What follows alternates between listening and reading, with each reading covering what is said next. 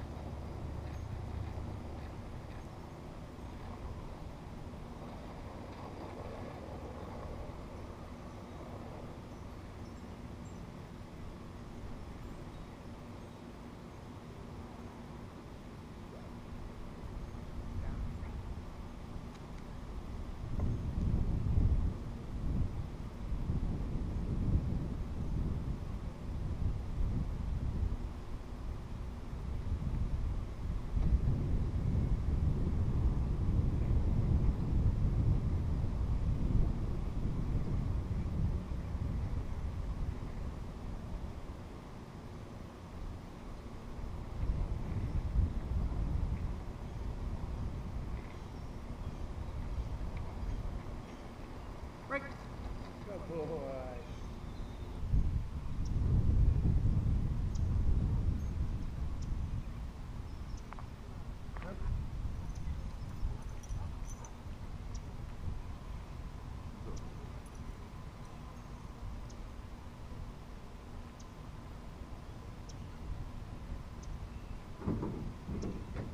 Mike.